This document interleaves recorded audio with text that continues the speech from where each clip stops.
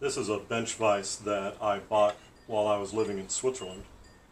And um, it's just been free floating up to this point. and I'm. Uh, I left it that way because I wasn't sure how I wanted to mount it or if I was going to keep this workbench.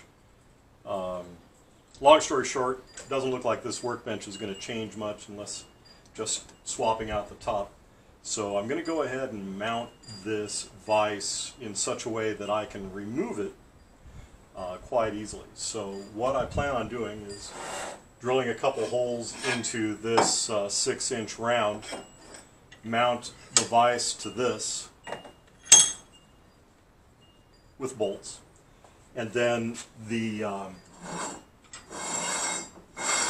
that plate itself will be welded to this two inch square tube just like some of the armoring stakes that I've been making.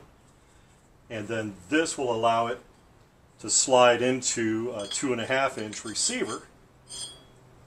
I'm going to take these receivers, I'm going to weld them onto the face of this leg in such a way that it's uh, level to the bench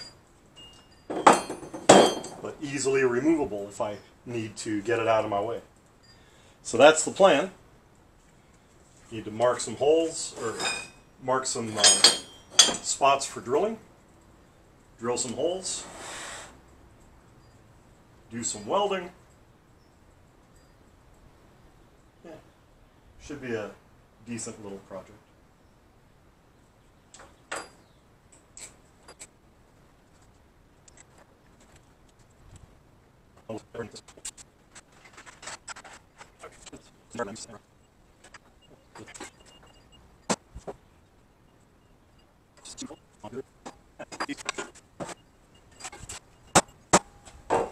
All right, time to drill.